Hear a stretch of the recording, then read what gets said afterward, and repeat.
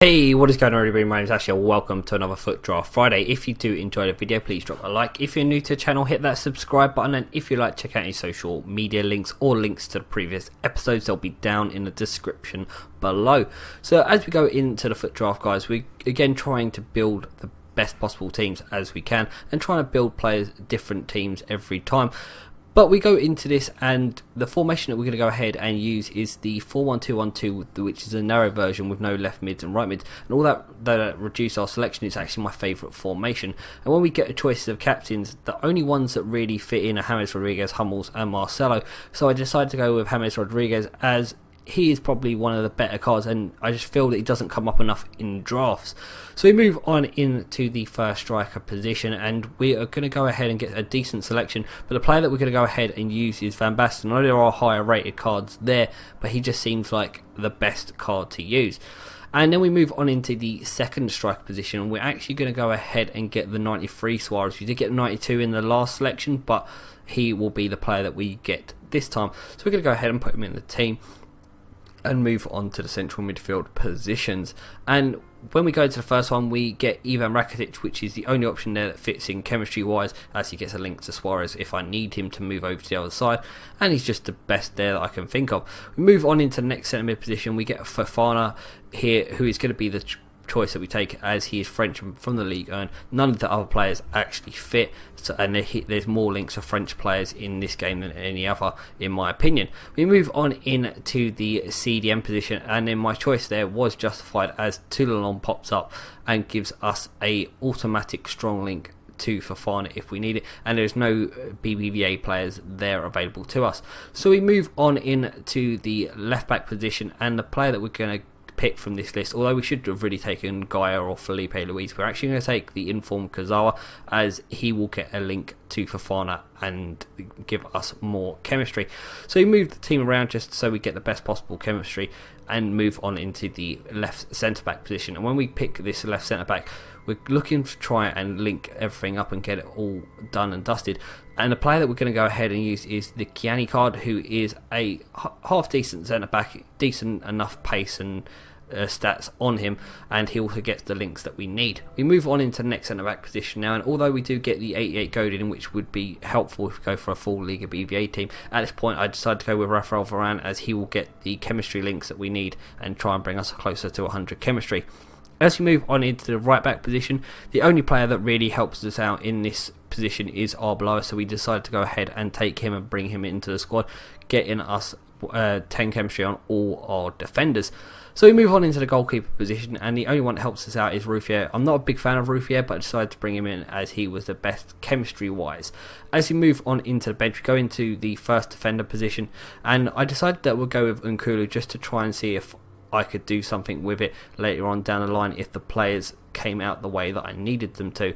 We move on now in to the next defender position and we go ahead and take Filipe Luís as I felt that uh, we needed a, BBVA left back just in case we decide to go full Liga BBVA. We move on now into the midfield spots, and the player we're going to take is this Inform Trashorras, who is a very solid card and a very decent card at that, and a player that I do rate this year, especially his free kicks.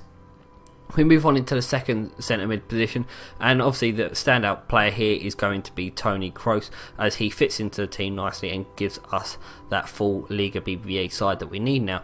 We move on into the next midfield slash attack position, and we go ahead and take the regular Salah card, which is a decent enough card and would be a decent impact player in any team. But our next impact player is going to be even better, which is going to be Gareth Bale. Gareth Bale is again a fantastic card this year and definitely well worth the use. We go into next position, and the player that we're going to take is Angel Di Maria. Uh, unfortunately, it's his right wing card, so it can't be used in this team if we needed to. And we move on into next position. And although Bartra would fit into the team, I felt that I was comfortable enough with the centre backs that we did have available to us. So I decided to take the Inform Oscar as an impact player off the bench once again, just in case I felt that we needed him. We go ahead and take Trémoulinas here as just an alternative to Filipe Luís in case I tried to do something chemistry wise that way. Then we go ahead and we're going to go ahead and take Mkhitaryan just because he's the highest rated and nothing else really helps us in this situation. So we take him and move on into the final outfield position. And we get the in-form Miranda card, which is a decent, solid uh, card, a card that I very much want to get to use at some point, but I just need to get around to actually getting the coin together to use it. We move on into the final position, and none of these are going to be of any real interest, so we take Joel just because he fits into the leagues. We move on to the managers. We don't really need any specific manager, so I just took uh, Martinez but just because he was Spanish, and I thought that would be the best option. So we get a 186, a decent enough team. Defense is a bit suspect, but it was definitely worth using. And in our first game, we're going to be coming up against what I just consider a super team. You've got Ronaldo up front, Team League Messi, Team League Dani Alves, and also that legend Okocha, who is one of my favourite legends that I have used. I just think he's so good. And it doesn't start off well for us as we give the ball straight to Ronaldo, who puts it in the back of net, making it 1 0 after 5 minutes.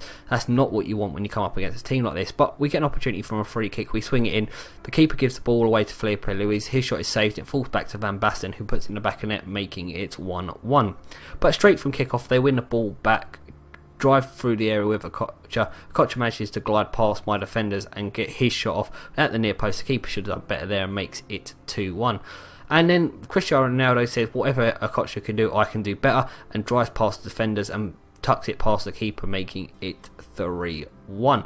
But th this game is far from over, and my opponent once again drives through with Sterling, looking to pass the ball beyond the defenders. Okocha picks up the through ball and puts it in the back of net, making it 4 1. After that spell of early domination from my opponent, we get an opportunity to get down in the wide area. So nice work by Filipe Luís, looking to drive inside. Should lay it back here, but the ball ends up going back to the goalkeeper, keeping the scores at 4 1.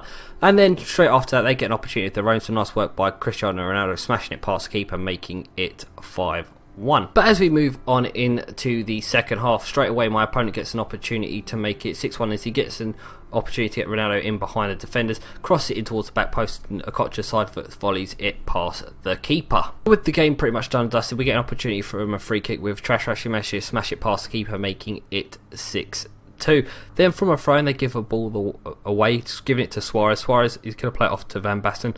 Van Basten's going to put it past the keeper, making it 6 3, bringing us slightly back into the game even further. Then we get another opportunity, some nice work here by Van Basten, hustling the defender. We win the ball back, and he looks to try and play it in towards uh, Rodriguez. Rodriguez shot is well saved by the keeper and tips it past the post for a corner. Then from another corner, we get an opportunity here. The ball's played out to Tony Kroos. He takes it down and tries to have a shot, but the keeper saves it, making it stay at 6 3. And that was how the game did finish. So we end up with another first round loss, and it's really getting frustrating of keep going out in the first round although we did shade the possession, he did dominate the shots on target, and we end up picking up a first round exit and go into the packs. Nothing special in the packs really, so we just discard all the players and stuff and keep the consumables. Move on to the second gold pack. Once again, nothing special in the pack, so we're going to go ahead and discard the players that we don't need and get the consumables into club for further use. And we move on into the final pack, which is going to be a silver players pack. We do get a silver goalkeeper, which may go for Saint, so I'll put him on the transfer list, and also Nick Powell as well. We'll put there. But that's going to bring an end to the episode, guys. Hope you have enjoyed. Until next time, my name is Ashley. Thanks for watching, and goodbye.